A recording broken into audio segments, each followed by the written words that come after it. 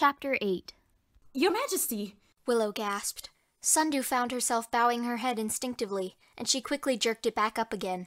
She was a true leafwing, or a poison wing, as the saplings called them, and more important, she was Sundew, and she bowed to nobody. Queen Sequoia smiled faintly.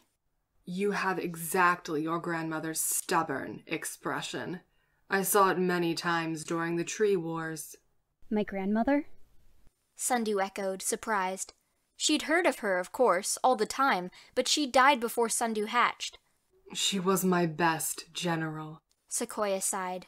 And my most loyal, until I finally gave her an order she couldn't follow.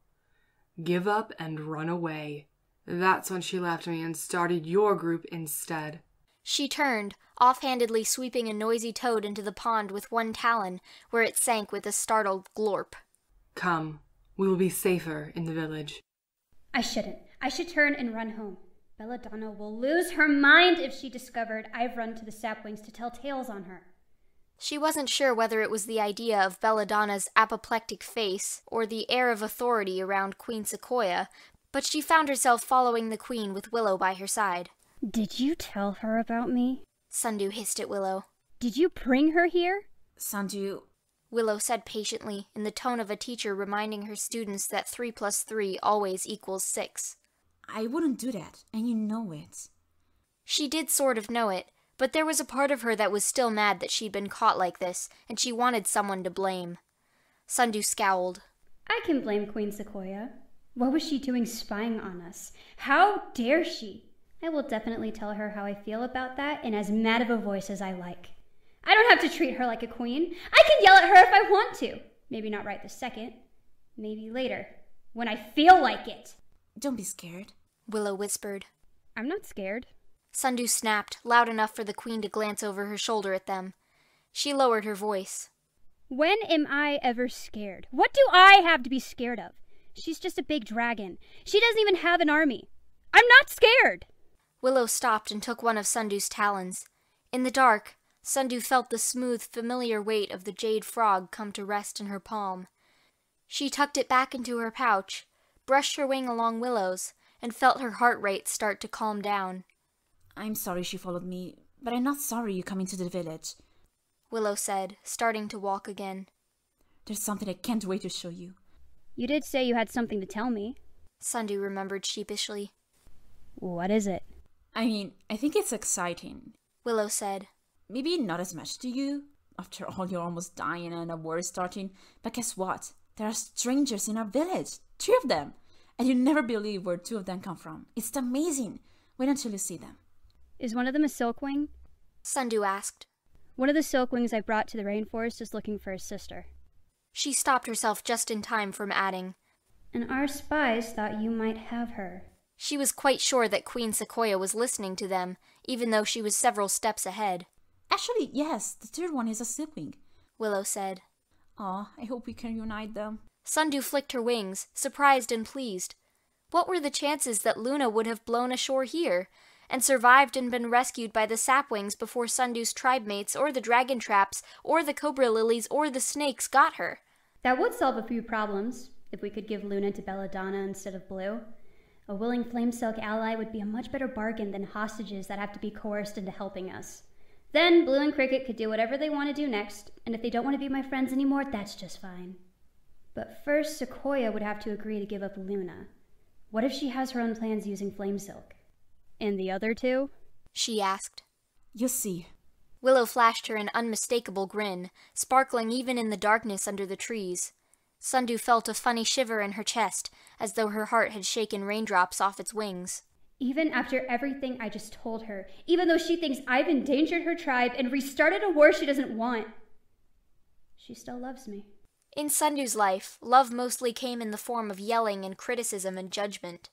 Her parents loved her and showed it by telling her everything she did wrong, correcting her mistakes, and starting shouting matches whenever they were the slightest bit aggravated. It still confused her sometimes when Willow did none of that. It was confusing her right now. Wasn't Willow angry at her? She'd never seen Willow get angry. It was kind of unsettling, honestly. Sundew had thought about it for years and eventually came to the conclusion that Willow must just hide her anger really well.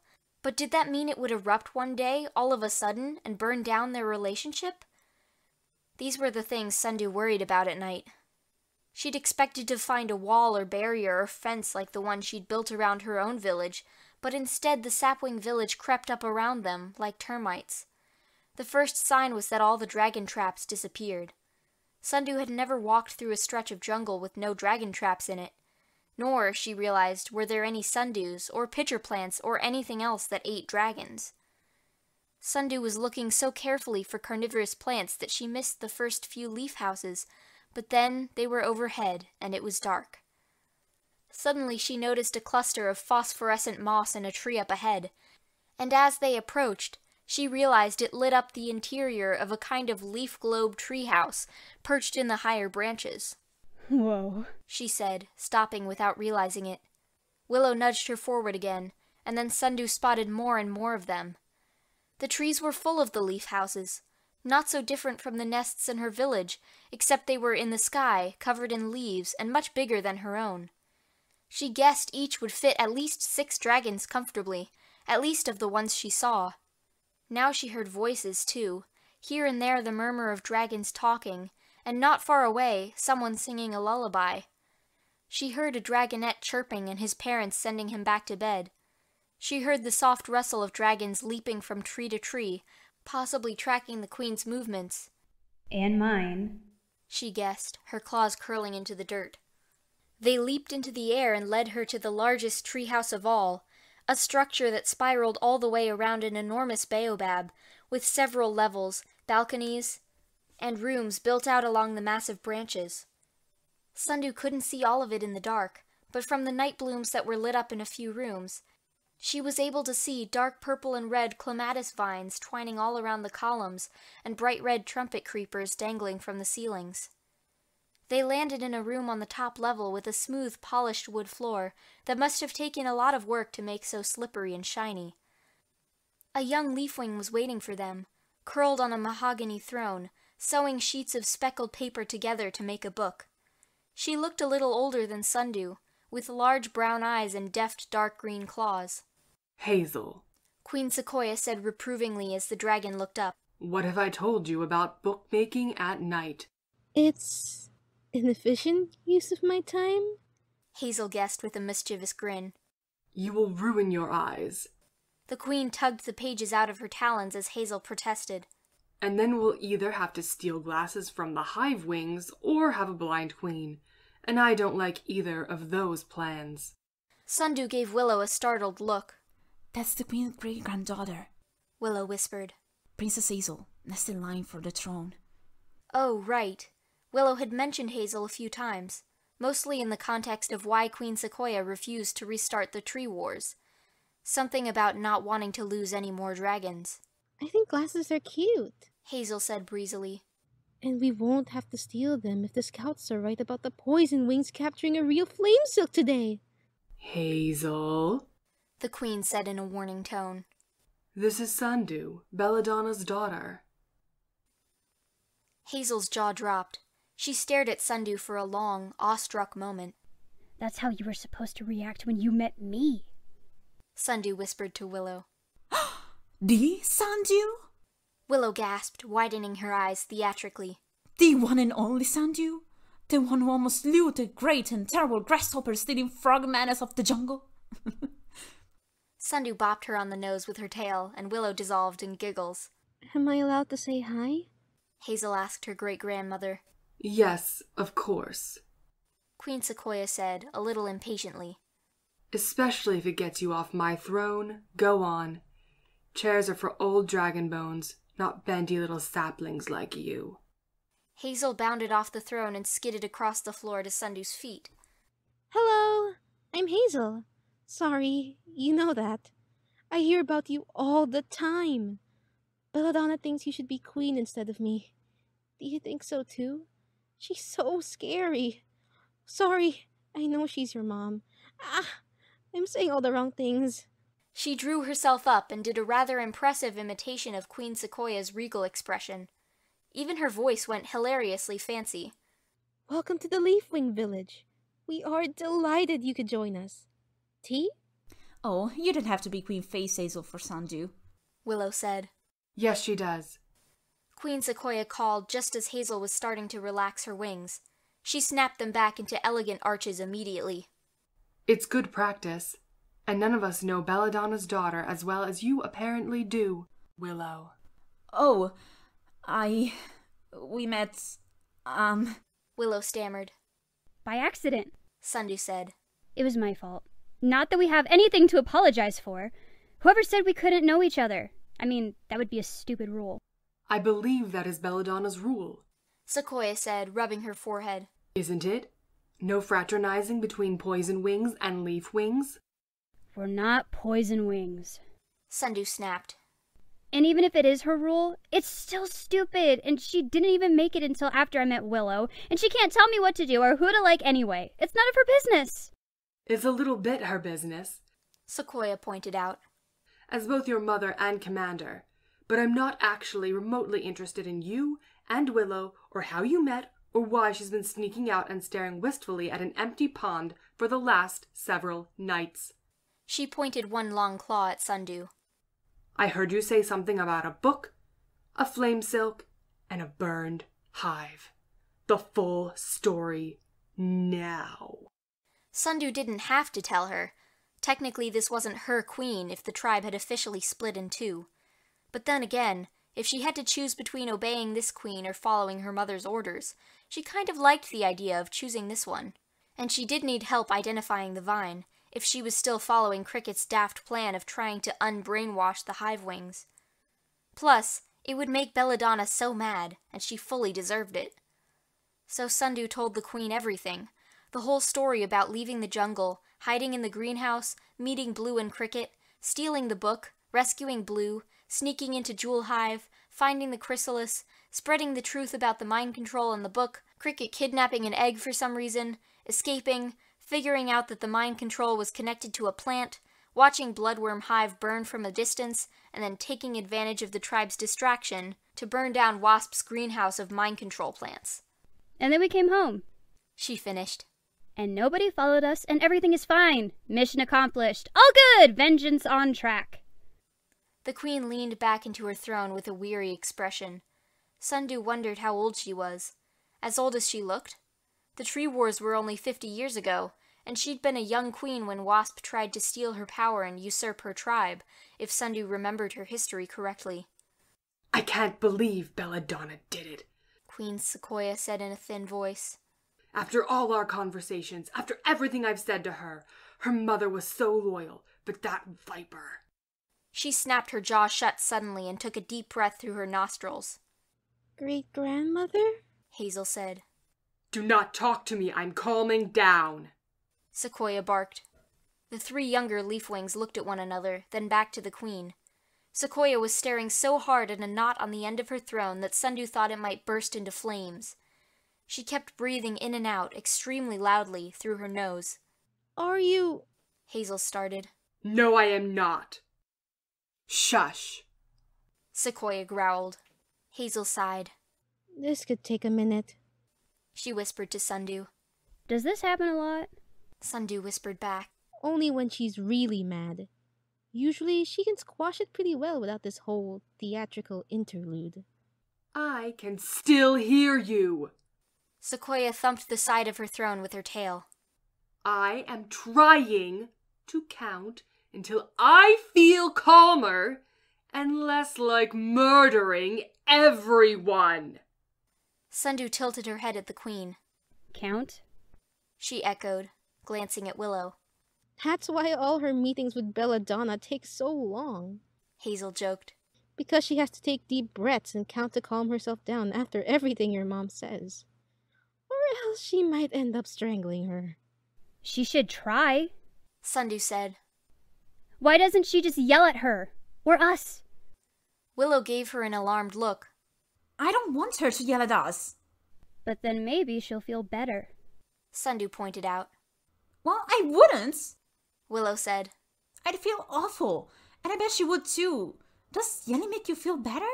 It's only ever made me feel worse. Oh my goodness. Sundew said. I must hear every story about you yelling at someone right this minute. Willow scrunched her nose at her. I was very little. It was only once, and I still feel guilty about it. Well, I'm sure they deserved it. Sundew said loyally. Great grandmother tries very hard not to yell at her subjects. Hazel said in her queen face voice. She was a more impulsive, angry dragon back during the Tree Wars, and she has come to believe it got several of her subjects killed. She had made an effort to become a wiser, calmer ruler, thanks in the large part to the implementation of the counting to ten strategy. She must be past 10 by now. Sundew said. I could have counted to 900 in this time. Not with a trio of aggravating twigs chattering like magpies in the background. Queen Sequoia interjected sternly. She took another deep breath. I am calm. Everything is fine. I just want to say Sundew blurted. That I, for one, am very glad you were an angry dragon when the tree wars started, because it meant you fought back against Wasp's power grab and didn't just roll over her like Monarch did. I'm glad you fought for our tribe and protected us from her. I would hate for the leaf wings to be stuck where the spineless silk wings are right now. So thank you for being a mad dragon, and I say keep it up and let's go fight some more! The queen gazed down at her for a long moment, and then a flicker of a smile crossed her face. I think Belladonna made a mistake leaving you out of our meetings for all this time. She said. You're considerably much more persuasive than she is. Sundew fluffed up the frill along her spine and beamed. Take that, Belladonna. I knew I should have been invited, just like I've been saying. But no, said Queen Sequoia. Sundew deflated as she went on. my leaf wings are not getting involved in another war. Do we have a choice? Willow asked. Won't Wasp come after all of us now, after what happened to Bloodworm Hive? I suspect she'll be even angrier about her greenhouse than the hive, Sequoia said thoughtfully. especially if that was her only supply of this mystery plant, and she needs it to control her tribe. Let me see that vine. Sundew pulled out the cutting, which was looking a little the worse for wear after going in and out of her pouch several times. She stepped forward and draped it over Sequoia's outstretched talons. Something happened to the queen's face. It was fast and hard to catch in the dim phosphorescent light, but Sundew thought she saw recognition and horror flash through the queen's eyes. Her claws closed around the vine compulsively, crushing it slightly, and then she released it again and took another deep breath. You know it. Sundew said. You've seen this vine before. I'm not sure. Sequoia said. She rose abruptly to her feet. I need to consult my books. Go away and come back after dawn. All three of you. She added with a stern look at Hazel. Sundew kind of wanted to ask for the vine back, but she had a pretty strong feeling the queen would say no. And then what would she do? Try to wrestle it out of the massive dragon's talons? I'll get the truth out of her when we come back, though. She thought as they all took a step back toward the edge of the balcony. She definitely knows this plant. Can it take Sundew to meet the new dragons? Willow asked. Yes, yes. The queen answered, waving them off. They're asleep, you nut. Hazel pointed out with a grin at Willow that made Sundew absolutely wild with jealousy. Can we just peek at them. Willow said. Come on, Sundew. The new dragons, it turned out, were only a few levels down the same tree, in two side by side interior rooms that Sundew noticed were not prison cells, exactly, but were not exactly wide open to the rest of the village either. She also couldn't help but notice the vines of thorns and toxic sap that wound around the doorways, or the four leaf wings stationed nearby, casually playing pick up twigs in the hall in the middle of the night. They gave Willow and Sundew suspicious looks, but went back to their game with a shrug when they saw Hazel with them. The Silkwing isn't there. Willow whispered, pointing to the first doorway. Sundew peered inside, her heart thumping. This whole time, she'd felt confident that Luna was all right. Her sense of Luna, from the short time they'd been together, was that Luna could absolutely take care of herself. But Blue and Swordtail had worried so much and so incessantly that it must have rubbed off on her a little, because now she felt a tremor of weird excitement as she peered into the dark room. Luna, at last! Safe and sound! So everyone could shut up about her and focus on the mission. Except it wasn't Luna. She couldn't see the sleeping Silkwing very clearly, but she could see that the wings were a dark color, maybe blue or purple, not the pale pearly green that Luna's were, and there was no flame silk glow from the silkwing's wrists. What's wrong? Willow said softly. Not that dragon we're looking for. Sundew shook her head with a sigh. Blue was going to be disappointed. Swordtail was going to be worse. He was going to be super annoying about it. But Luna had to be all right. She must have just landed somewhere else. Where did you find her? Trapped in a dura not far from the border. Willow said. She's lucky we got there before he ate her. I wonder what a silkwing was doing inside the poison jungle. Sundew said thoughtfully. Escaping from the high wings, I think. Willow said. Now come see the others. She tugged on Sundew's elbow and led her to the second doorway. Sundew found herself holding her breath as she looked inside. For a moment, she didn't know what she was seeing.